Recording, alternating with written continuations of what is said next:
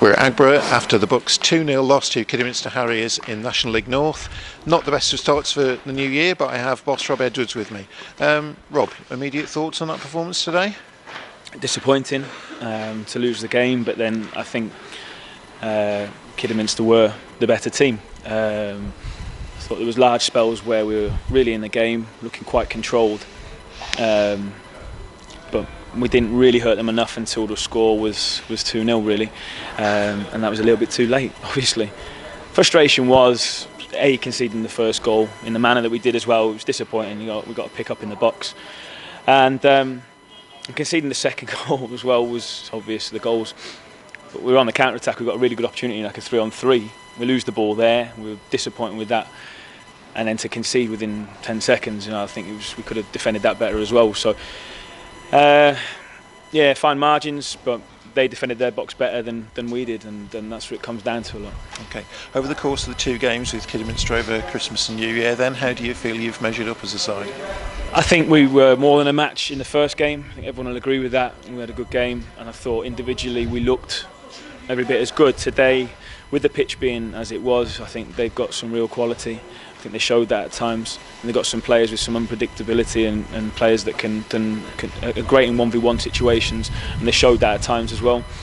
Um, but at the same time, we were very organised, and um, and what we need to get better at and improve on at the moment now is having that threat the other way because we're getting into some good areas, but then our final ball's letting us down, our final decision is letting us down, and um, you know that's that's where we've got to improve now. So it, was it that little bit of quality in attacking areas that's ultimately been the difference? I think we have that, and that's the thing. Uh, today it was the difference. They took two opportunities that we sort of gifted to them as well, really, um, and they didn't gift us anything. We had to earn it, and we didn't quite have the uh, have enough to earn it today. But we got into some really good areas, particularly in the first half, and um, you know ran the back of their their full backs, and then that final pass wasn't quite good enough. The final cross wasn't good enough. We've got to pick people out. We've got to, you know, got to raise our, our levels when we get to that that position, and um, and we didn't.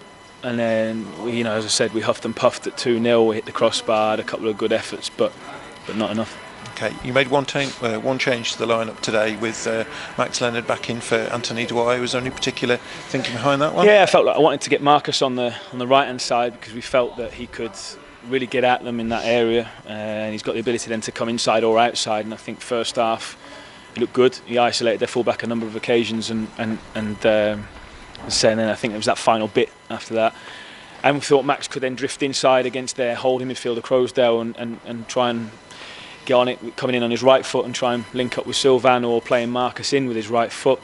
Um, but it didn't really it didn't really pan out that way. That was the thinking behind it, and um, and like I said, I just um, I, I, felt there was some good elements, but but not enough of it, and then it came down to them defending their box better than, than we did. Sure, but it, the games ultimately over Christmas have given you some idea of, of more like the level we need to be at more consistently.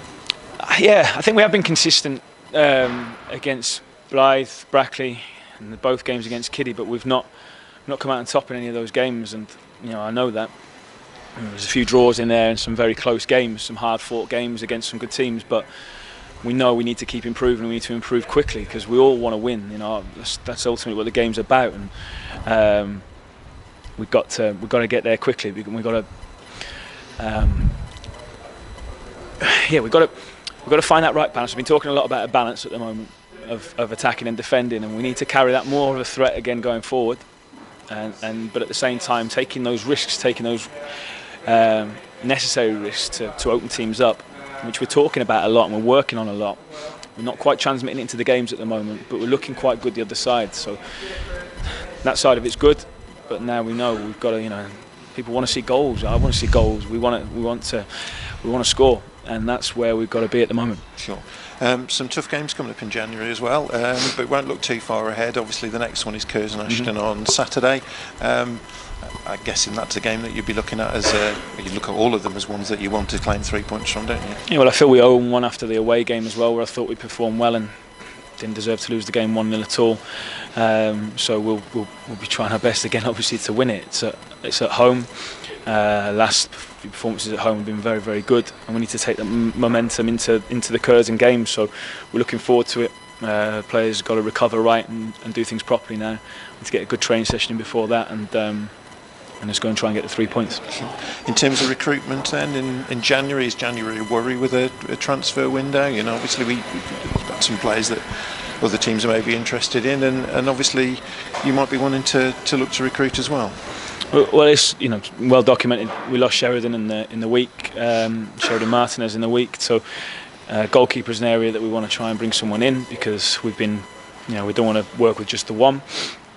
And um, and at the moment, that's that's where we're at. I think we need to try and extend Connor Johnson's loan. I think that's going to happen, which will be good. And um, and then of course, as always, we'll, we'll keep our ear close to the ground and we'll, we'll see where we can improve if we can. But at the moment, I don't anticipate too much being done. Okay, that's great, Rob. Thanks for your time. Thanks, Cheers.